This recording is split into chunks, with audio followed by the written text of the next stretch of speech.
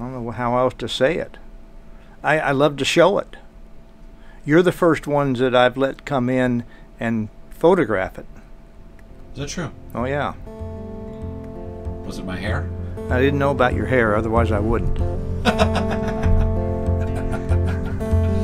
Woke up this morning with the sunrise in my eyes. Just like a new day, a breath of fresh air in my life. I don't know how, don't know why, but I'll, I'll be toasting all my life.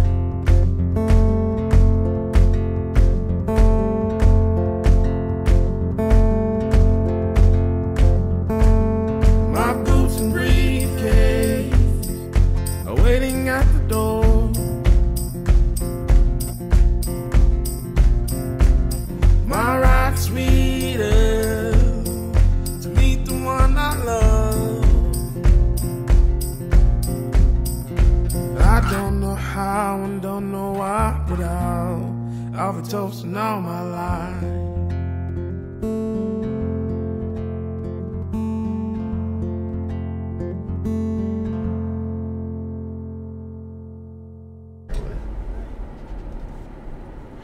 Look at Raj in the blazer and everything.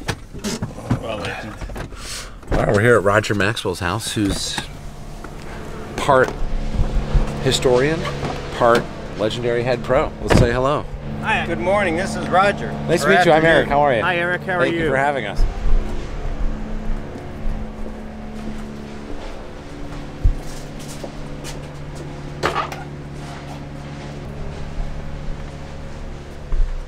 Wow.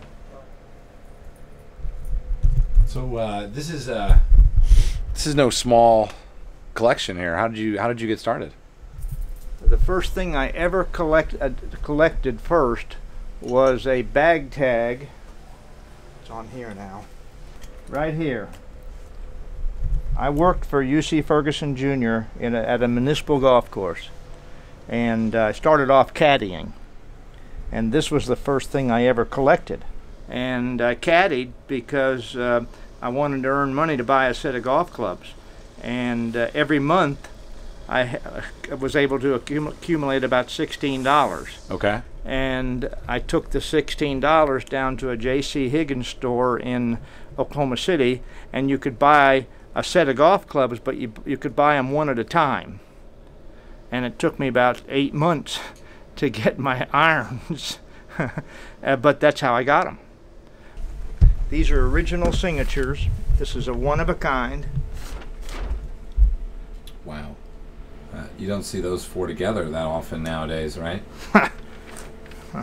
Uh, you don't see any of them. Well, they are all they are all together in heaven.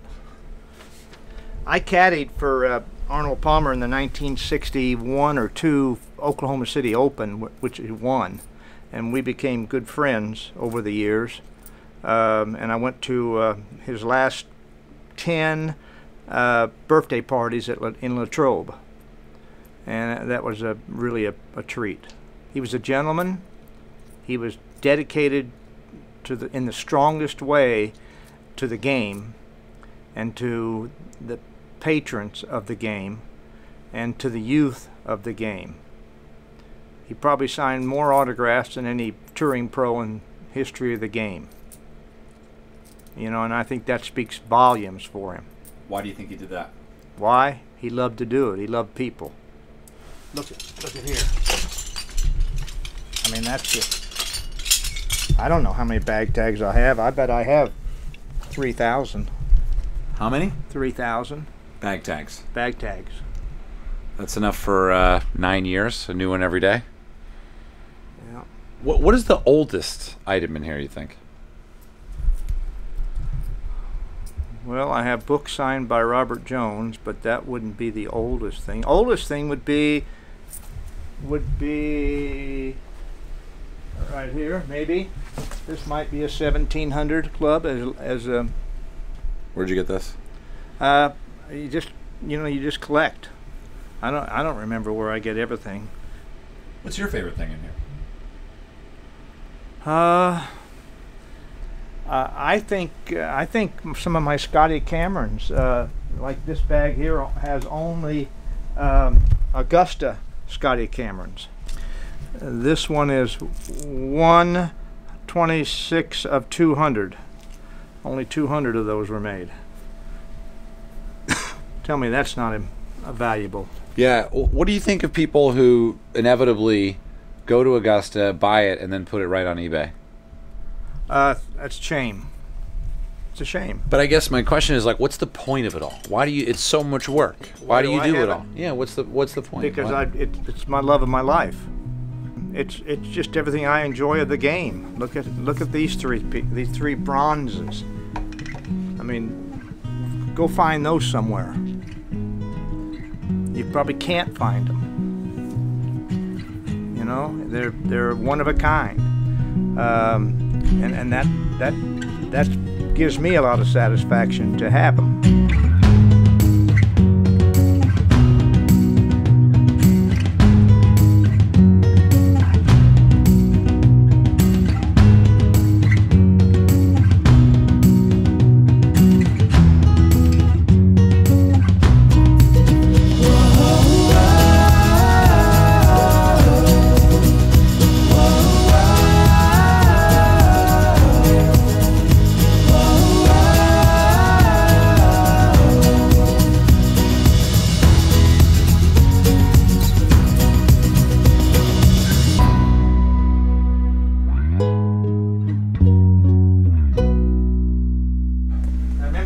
Telling you the story about uh, uh, UC Ferguson Jr. Yeah. He was my first mentor. That's his membership card in the PGA for 1956. Okay. This is the back side of it. Ben Hogan, Walter Hagen, Arnold Palmer, and Bob Jones. wow. Bob. I, I I don't think the game is in trouble. Okay, I think the game had a, a, a sinking point, but I don't think it's in trouble. I think probably by clearing out so many of the golf courses that have closed, okay, probably helped us. Okay, is it over? Probably not. But um, the good operators are the still the successful operators. So when you hear things coming from the USGA uh, or the R&A or the PGA about the future of golf, and when you hear about things like Topgolf, and when you hear about short courses, what what do you think about all of it? Because your business is basically making sure that people enjoy the experience of going to a golf course. Right. And there has to be an experience, okay? And there has to be entertainment value to the game. You got to spice it somehow or other to do a little bit of entertainment gallery. We have operated a golf course um, uh, called Starfire. Okay, you may be familiar with it, you may not. It's 27 holes. It's a 18 championship Arnold Palmer design, and it's a, a nine-hole uh, short course and it's it goes it's gone over very very well thus far. It just it just opened uh, three months ago. The that part of it. So what does that tell you about the future of golf? well, if we can get more people to begin to play the golf on a short course, they'll eventually hopefully graduate too, and then if we get the senior player who's tired of playing the regular course now to play the short course, he may have four more years of fun. What do you think of all the things golf has taught you? What do you think is the most important?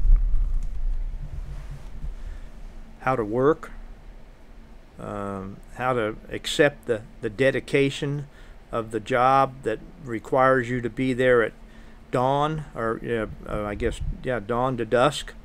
And um, it could easily be seven days a week, could easily be seven days a week, but you want to make sure that every customer you have, he's met you, he or she has met you and you can begin to call them by their first name or their last name. But um, I, I just think that um so much of it is the clubhouse, the pro shop, particularly the pro shop, and the assistants and the bag attendants have to be always have a smile, have to provide the experience, and have to figure out what they can do to provide an entertainment, a better entertainment uh, situation. Yeah. Well, you know, I've, I've been kind of semi-retired now for, oh, I guess, well, since my wife passed away, so that'd be six years.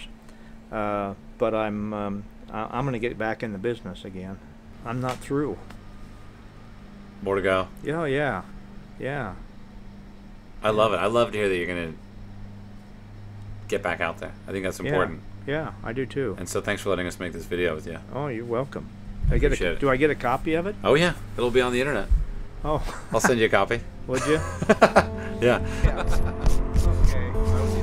okay. Thanks, Roger. Thank you. Very much appreciate it.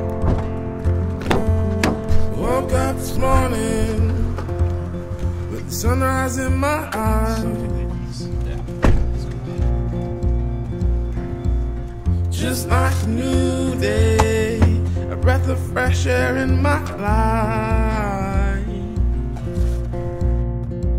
I don't know how don't know why, but I'll I'll be toasting all my life.